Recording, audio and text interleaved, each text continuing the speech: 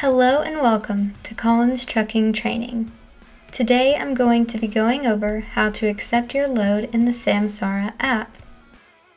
Open your Samsara app and put in your login credentials, Collins-Trucking, your driver ID, and your password. Select your vehicle and confirm. If you know your trailer number, go ahead and add it in. But if you haven't received your trailer from dispatch yet, you can leave it blank along with the shipping ID. Before we get started, let's take a quick tour of the app so that you are familiar with all of the features. First, let's check out the Messages section. It is located in the mailbox in the top right corner. It will let you send messages to communicate with the dispatcher. Next, let's go to the Hours of Service section. Here, you can change your duty status, add remarks, and check your logbooks.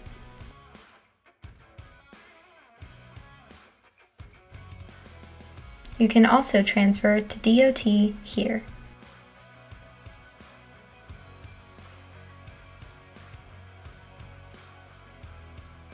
Next is DVIR. If you have not gone on duty yet, you will be prompted to go on duty.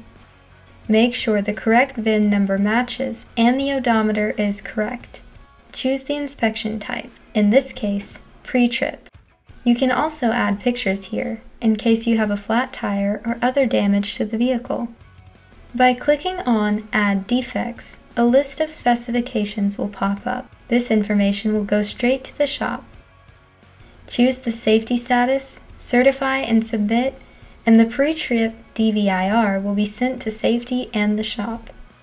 Next, click on Routes. Here, your dispatch information will show up for the current day, past, and future dates. Future dispatches will show up if there is a pre-trip involved.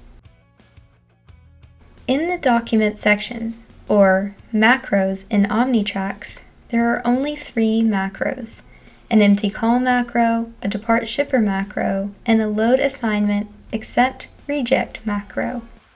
Click on accept the load assignment. Make sure all of the information is correct and hit submit.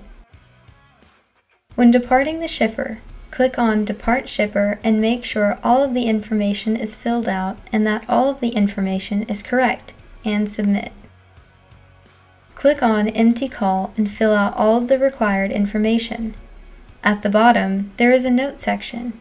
If the location allows parking, please leave that information here. It is helpful for future dispatches. Now that we have overviewed the app, let's go over what to do when dispatch assigns an order. When dispatch sends you a load, you will receive a notification on your Samsara app. Click on the messages icon. Here, you can see that dispatch has assigned an order and that the accept reject document is starred. Please go into the accept and reject load macro and accept the order. Once submitted, dispatch will see your truck number turn green. This allows the dispatcher to know that the load will be picked up and delivered. Once you have accepted the load, navigate back to the home screen. The load address and information will pop up in the Routes section. This may take a minute to load. You can click on today's dates to see the load information such as stops and delivery number. If you want more information about the stops, click to expand. You may also fill out the Depart Shipper macro here. Clicking on End shows the delivery information as well as the dispatch notes. You may also fill out the empty call macro from here. Once you're ready to go, click on Navigate and you will be taken to Maps.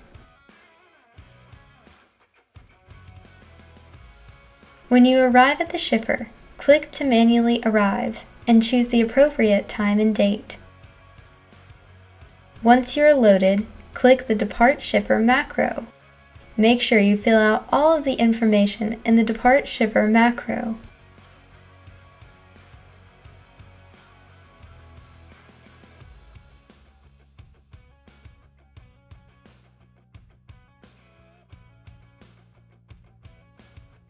When you arrive at the delivery location, manually arrive.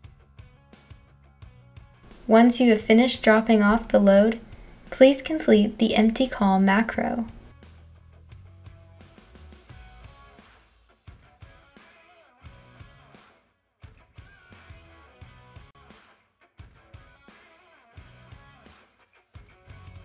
Once completed, please navigate back to the home screen, go Off Duty, and log out. It is very important that you always go off duty and log out. If you have any questions, please reach out to Mike Chupp, Denise Reynolds, or Dakota Collins. Thanks for watching!